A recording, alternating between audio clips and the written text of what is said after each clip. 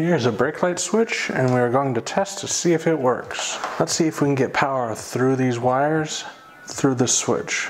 Now usually you'll have to look at a diagram to see which one of these pins will go to which or which one corresponds to the other. But since we have two different sizes, we can tell that more power flows through this circuit than this circuit. So these two are small, so they're paired up.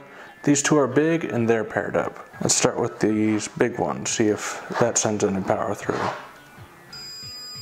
All right, we get power, then pressing it shuts it off. All right, let's try these short ones. All right, there's no power and then pressing it turns it on. Now, if you have a four pin brake light switch like this, and you test these and you get that same result, one of them has, by default, it's powered, and then you press it and it's off, and the other one by default it's off, and you press it and it's powered, you know you have a working brake light switch.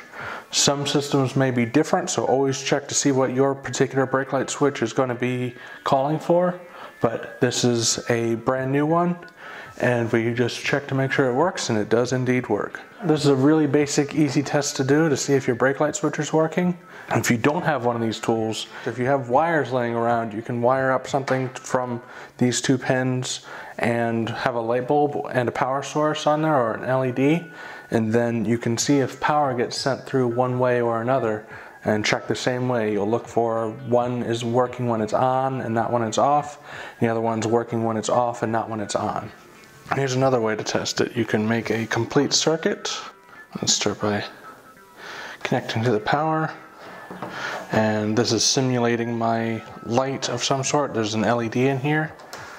And this will connect to one of these pins.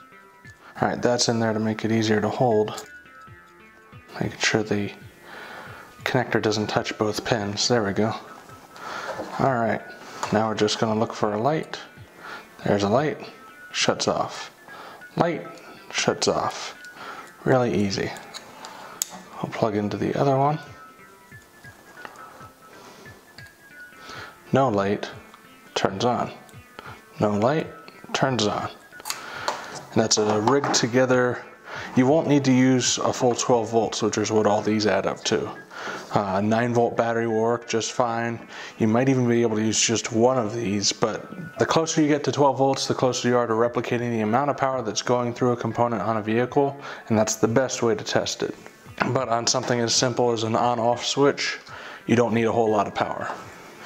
Now if you're interested on how these switches work mechanically, one of my first ever videos was a breakdown on how these things work by taking it apart. It'll be in one of the end of video links with a few other videos that I've made. So hopefully this made working on your car just a little bit easier and I'll see you in the next video.